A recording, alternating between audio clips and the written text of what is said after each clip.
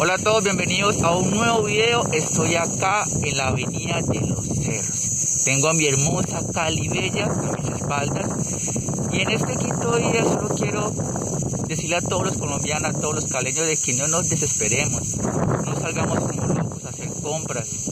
Tranquilo que esto va a cambiar. Esta cuarentena, esta pandemia va a ser cosas del pasado. Vamos a aprender vamos a cambiar, vamos a colaborarnos unos a los otros. Así que hoy vi las calles más vacías, sí, vi algunos supermercados y sitios con colas, pero no muchas. Puede ser por lo que fin de semana aprovechemos las plataformas digitales para pedir nuestros domicilios. Un hermoso domingo. Era de esperarse que muchas calles estuvieran vacías, vacías, vacías Casi el tráfico era nulo, uno que otro por ahí. Más que todo las motos con sus domiciliarios y personas muy pocas. Así debería de ser todos los días. A pesar de que se abra un banco, se abra un servientrega, se abra un gane, no deberían de dar toda esa cantidad de colas. Observen la galería Alameda en comparación con días anteriores. Hombre, mucho más limpia. De ahí me fui por la avenida de los cerros, que así empecé el intro. Después miré por ahí si había alguna afluencia de personas, pero nada. Esa avenida estaba como un tubo, ligerita, rápido, toda bella.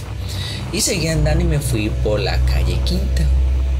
Si la quinta vas pasando, es mi Cali bella que vas atravesando.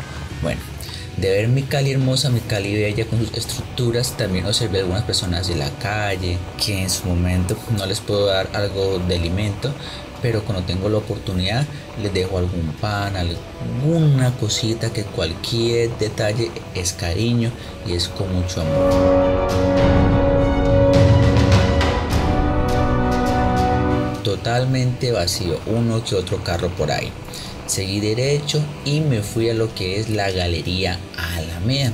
Normalmente esto en un día domingo a las horas de las 11, las 10, las 12 está lleno. ¿Por qué? Porque hay mucha gente que va a comprar sus enseres y les gusta almorzar pescadito.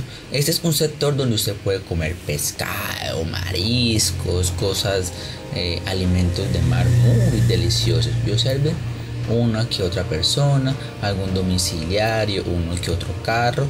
Y bueno, por ese lado está bien, o sea, no hay mucha afluencia de público, no se ven esas colas inmensas y no se ve gran tráfico. Posiblemente muy temprano sí hubo buena afluencia de personas, pero ya eran casi las 11, 12 del mediodía y no había casi nada. Ahí pueden observar, tratando de pasar el semáforo con precaución mirando para todo lado porque primero está la seguridad, la vía mía. Tampoco voy a andar a las carreras y sin mirar para todo lado. Se preguntarán cómo hago para grabar. Bueno, gracias a Dios tengo esa facilidad que puedo hacer varias cosas a la vez. Entonces trato con una mano grabar y con la otra con precaución poder manejar, mirar para todo lado, pero entonces no es que yo mueva la cámara y me mueva yo, no, Normalmente son mis ojos los que miro para todo lado, pero la cámara siempre está en un punto y yo la muevo a medida de que yo vea algo importante en el momento. O se ven allí. El supermercado de Surti familiar sí había personas. Y ahí me fui para el parque El Perro, el sector de los chicos Rappi y Uber Recuerden, utilicen esas plataformas que son muy buenas. Hay varias en el país, el cual nos pueden llevar alimentos, enseres y muchas cosas a nuestras casas. Así que no salgan a cada rato, utilicen los domiciliarios, por ahí debe haber alguien en bicicleta con su protección. El rebusque hay que hacérselo. Y aquellas personas que lo pueden hacer, ayudemos, que también eso es muy importante.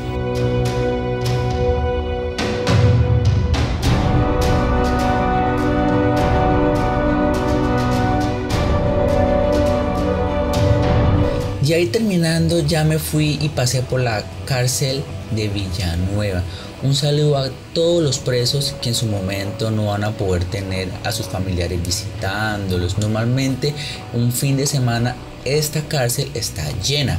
Hay bastante cola para aquellas personas que van de visita a mirar a sus familiares, sus amigos, novios, en fin.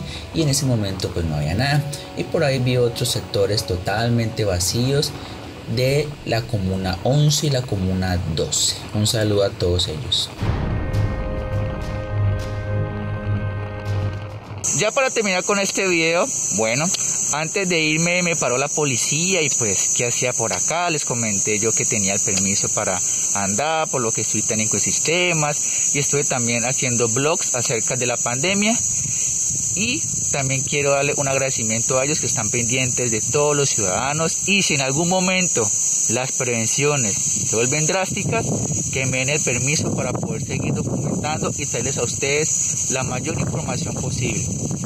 Ánimos caleños, ánimos colombianos, que esto lo superaremos juntos. Nos veremos mañana con otro video. Hasta la próxima.